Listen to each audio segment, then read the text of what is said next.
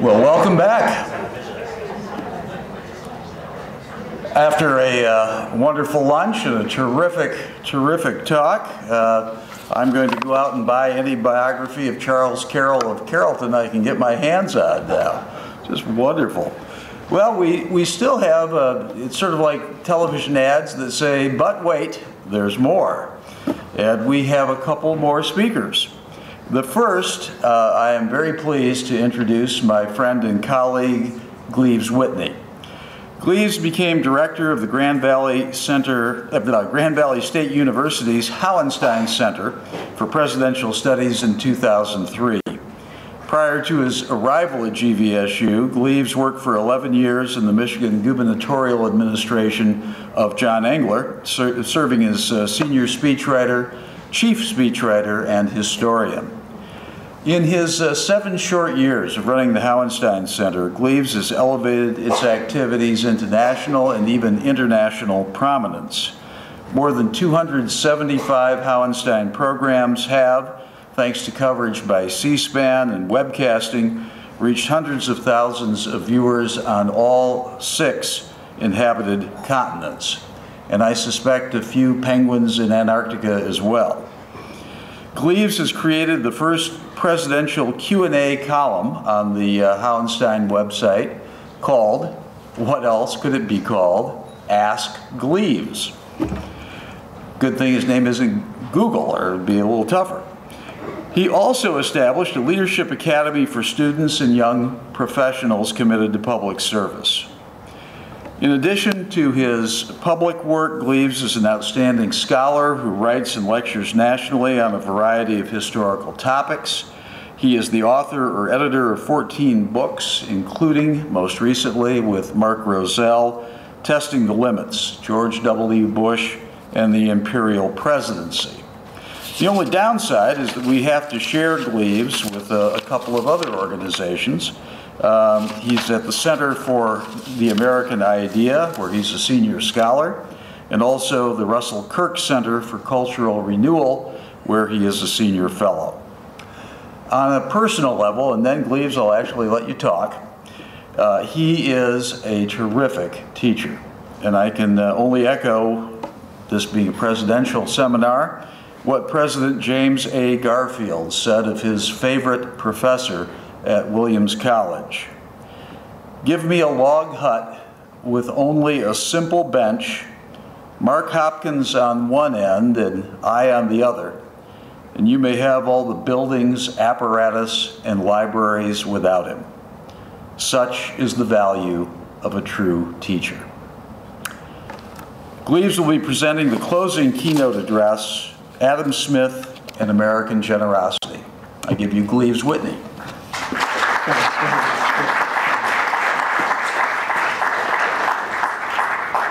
Some days it is like just talking to a log when you're teaching.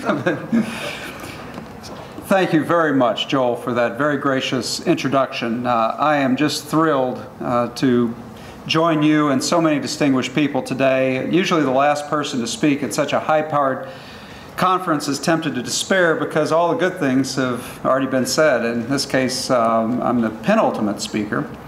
Um, but that hasn't stopped many a fool from grabbing a microphone at the end of the day. I'd be foolish if uh, I didn't have so many good colleagues who helped bring this conference off. Would be foolish not to acknowledge them at this point. So let me just take a minute to say thank you to all who have participated to make this conference an outstanding intellectual event, cultural event, a success. I want to thank the speakers. I want to thank Brad Birzer for an outstanding talk over lunch. I want to thank the leadership at the Johnson Center, certainly Joel and Kathy, and going back to Russ Mawby, uh, Dorothy Johnson. I want to thank uh, Ralph Hauenstein uh, for making our center possible through his generosity and his vision. And I want to thank the staff of the Hauenstein Center. Uh, we've got uh, Mandy and Brian and Kathy and, and Adam and all the people who make this place work.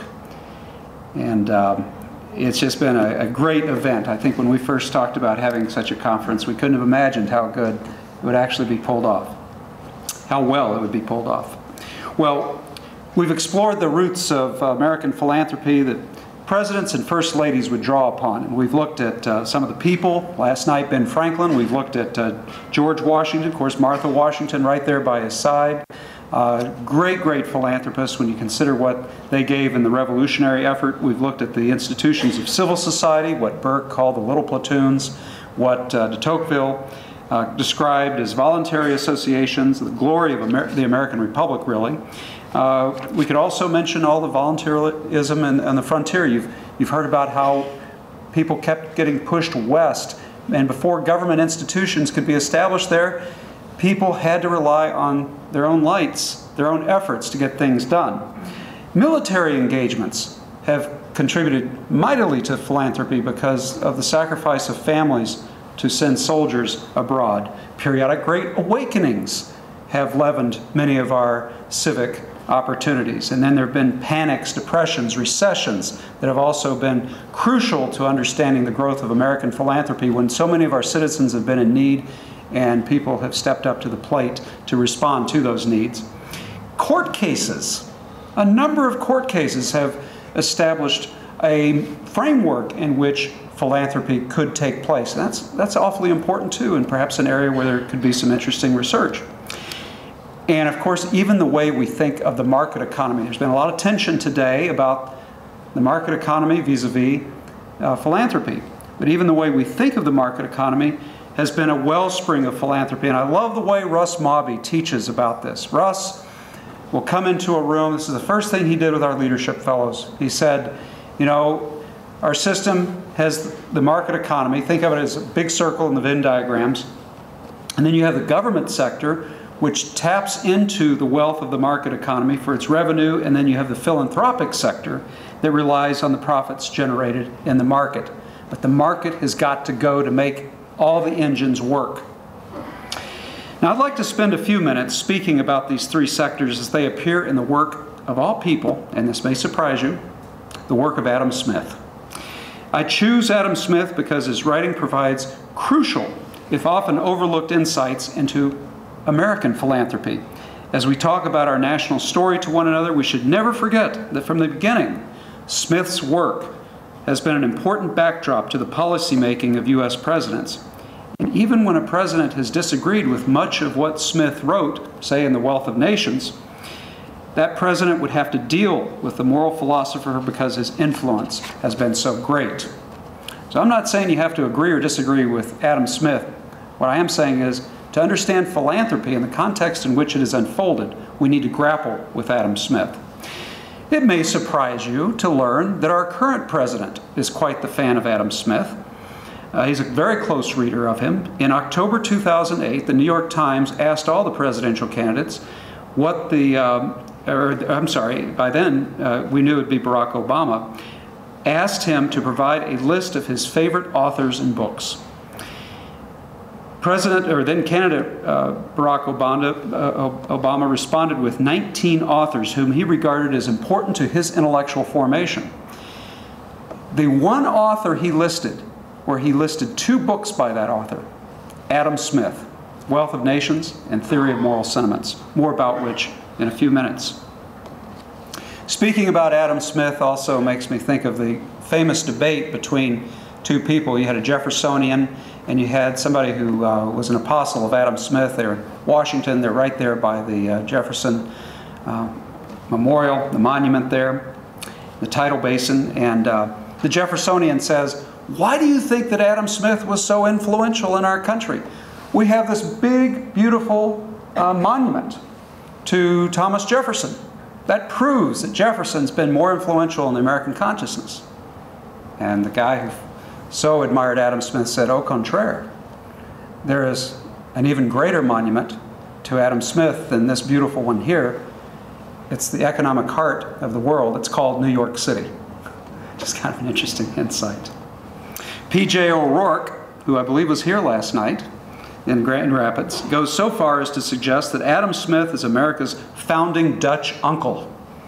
Smith's most famous book, An Inquiry into the Wealth to the Nature and Causes of the Wealth of Nations, published in 1776, makes mention of America more than 100 times.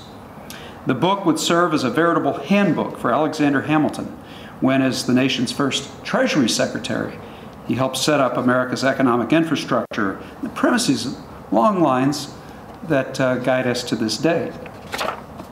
Now, allow me to provide some context of Adam Smith's work, not in the 18th century when he lived, but in the 17th century. In that early modern era, when free market ideas were just beginning to sprout, capitalism was justified by recourse to providence, usually with a capital P. And 100 uh, years before Adam Smith was explaining how market economies account for the wealth of nations, a Frenchman named Jacques Savary, writing in a more religious age, defended markets as the providential mechanism that ensured that humans would be dependent on one another. And I'd like to quote a little passage from Savary's work.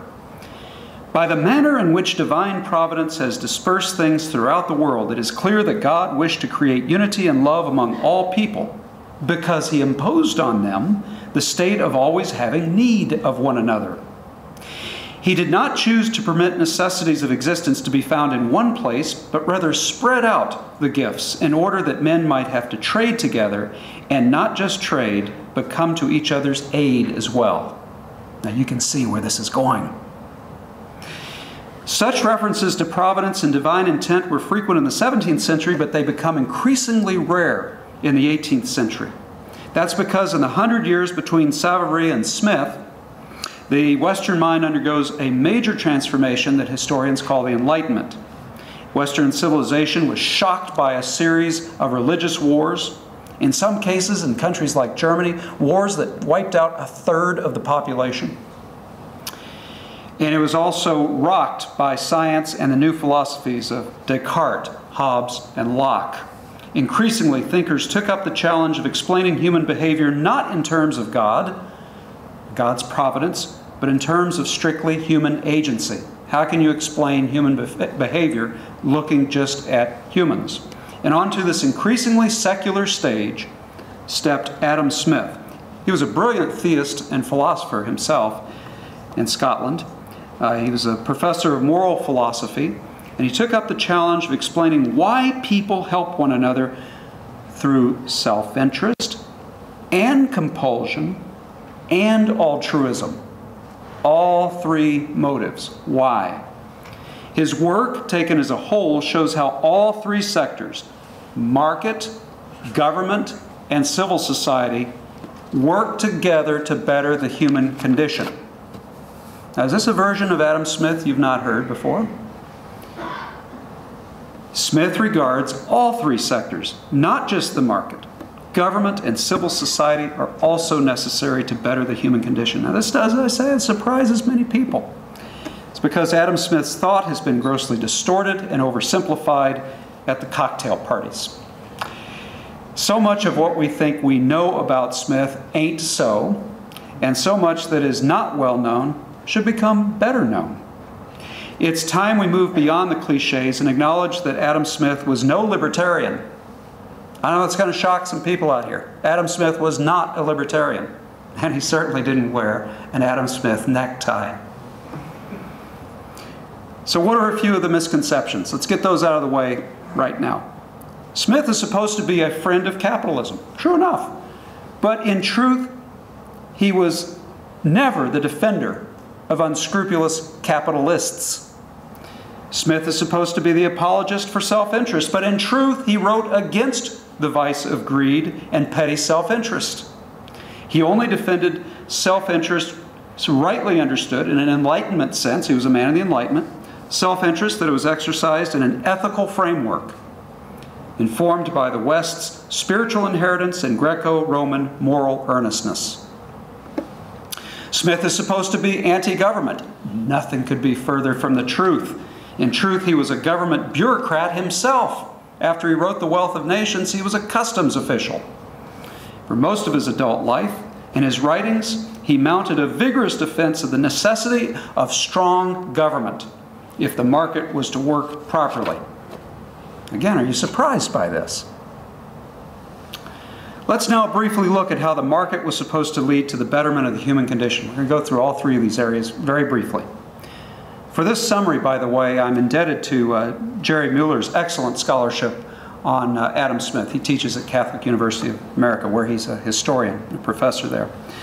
To Smith, the goal of the market economy was to raise the standard of living for more and more people over time. And in The Wealth of Nations, he explained how competition in the marketplace channels self interest into socially beneficial goods and services.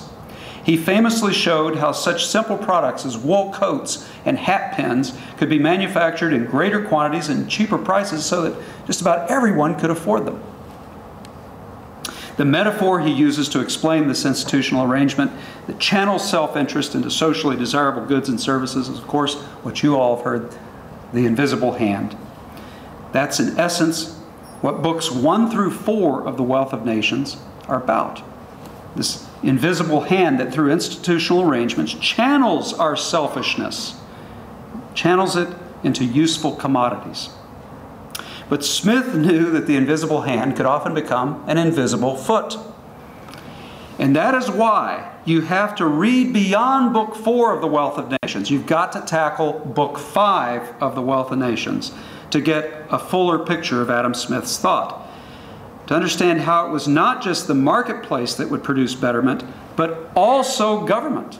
And by extension, we'll show in a few minutes, also civil society.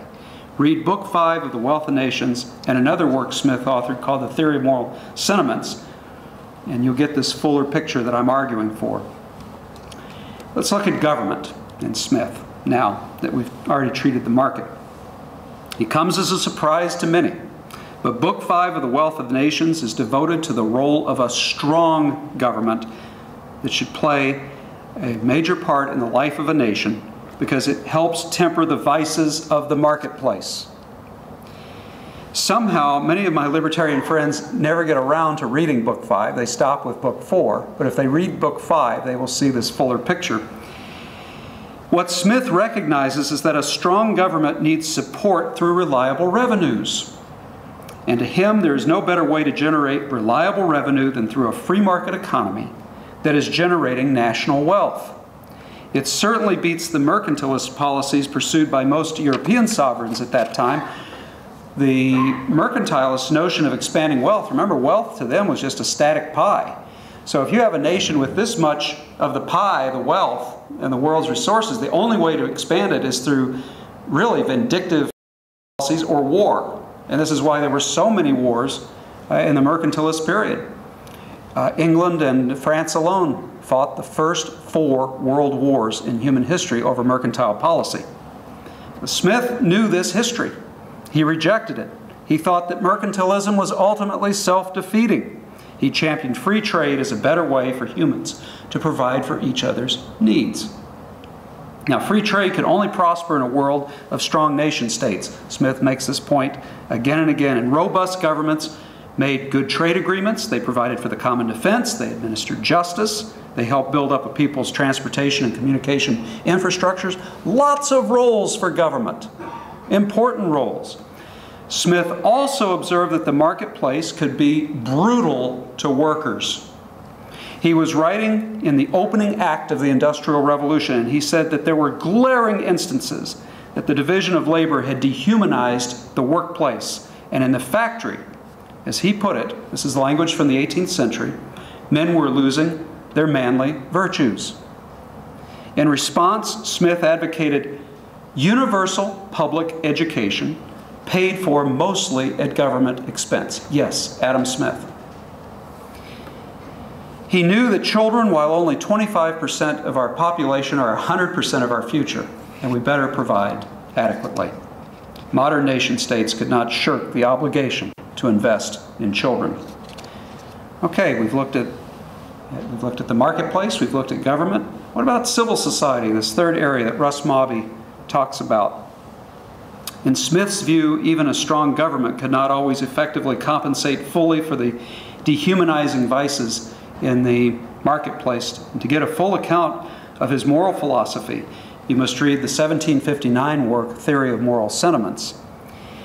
The work was prompted by the writing of another philosopher, Jean Jacques Rousseau.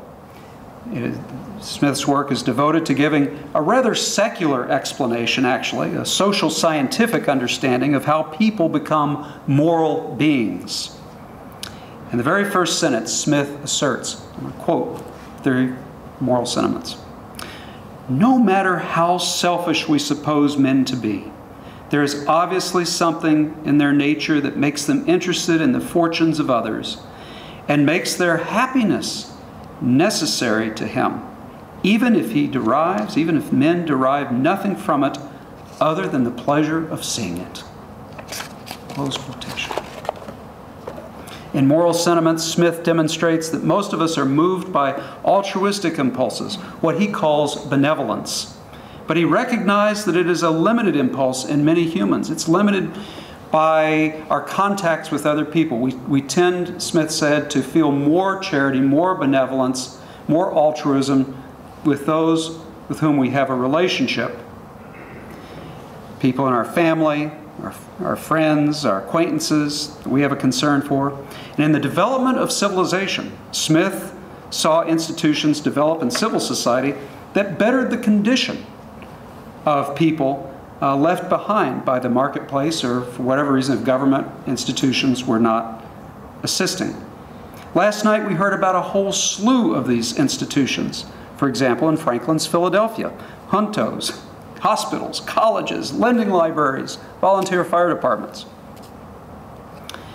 Smith did not live to see the birth of modern public relations, but he surely would have appreciated the way philanthropic organizations have used the various mass media to form that connection, to broaden it. So you can see a TV commercial, for example, of children in Africa, earthquake victims in Haiti, tsunami victims in the Indian Ocean, and you can form an attachment and voluntarily be moved to give.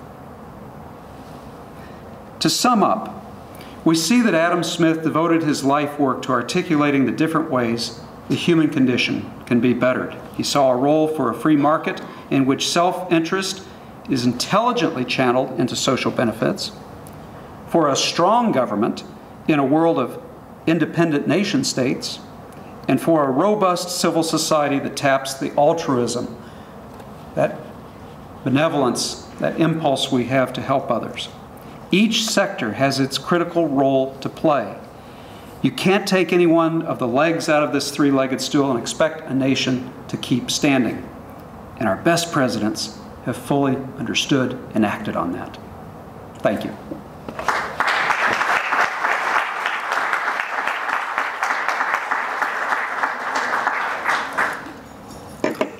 We are running. Can I take a question or two? No, a question. We're running a little short on time, but if there's a question out there, entertain it. Well, Joel, I'll turn it back over to you. Oh, we do have a question in the back.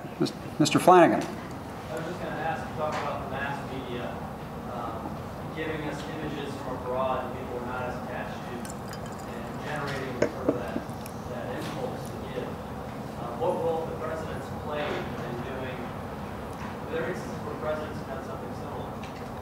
I, I think we have some great presidents. First of all, you have TR, Theodore Roosevelt, who recognizes the uh, bully pulpit, and bully in that sense does not mean in the sense that we use bully to, to harangue people or to intimidate them. Bully means a, a jolly good pulpit in that sense.